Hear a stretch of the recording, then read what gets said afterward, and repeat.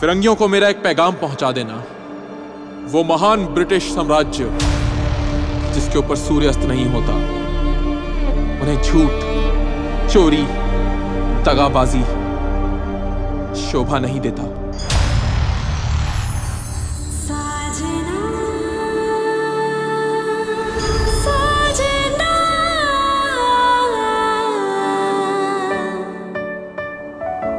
अरुणा!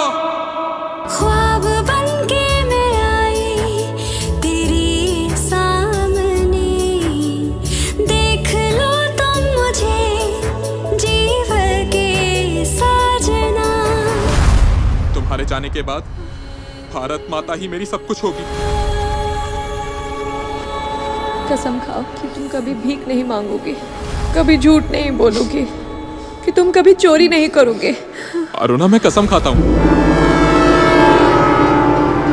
शहर तो आ गया तू। साथ में अपना कफन भी लायो क्या?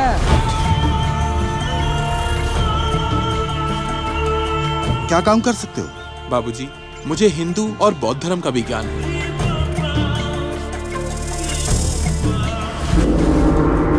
तुम्हें कहीं जाना होगा मुझे? पर कहा? और क्यों? तिब्बत।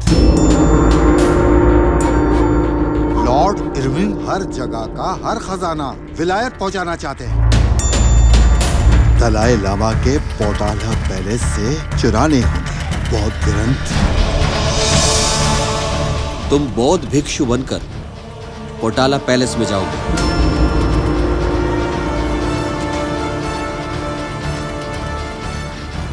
ये तिब्बत में जाने का सबसे सुरक्षित रास्ता है।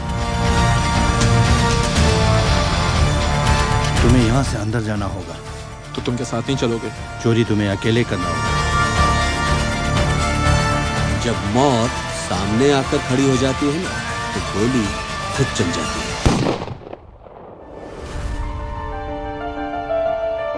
अपने भूत वर्तमान और भविष्य को एक पिंजरे में कैद मत करो, भिक्षु।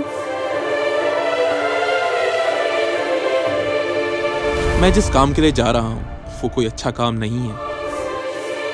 मगर मैं वादा करता हूँ, एक दिन मैं एक स्वतंत्रता सेनानी बनकर एक बहुत अच्छे काम के लिए जाऊँगा।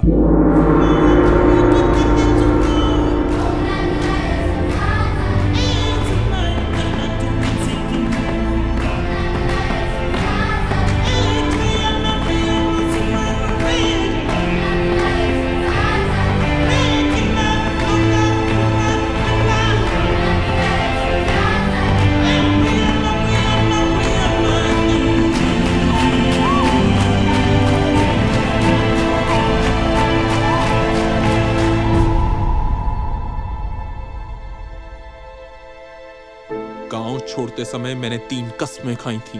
कभी झूठ नहीं बोलूँगा, कभी भीख नहीं मांगूँगा, कभी चोरी नहीं करूँगा। शहर आते ही मैंने वो तीनों कस्में तोड़ दी।